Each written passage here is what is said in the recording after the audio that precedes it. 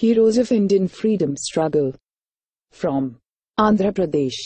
Alluri Sitaram Raju. Indian Revolutionary Independence Activist. Raju led the Ramp Rebellion of 1922 to 24. Fought against Madras Forest Act 1882 along with his followers stole guns and ammunition and killed several British army officers. Potti Sreeramulu. Indian Revolutionary. A devout follower, avid supporter and devotee of Mahatma Gandhi.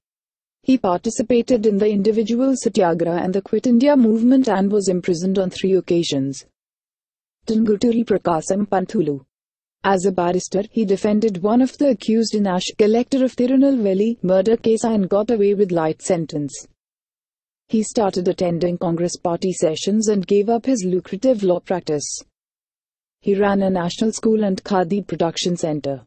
Whenever there was unrest or strife such as a riot, he tried to be there so as to comfort people. He visited Punjab during Akali Satyagraha and the Hindu-Muslim riots in Multan.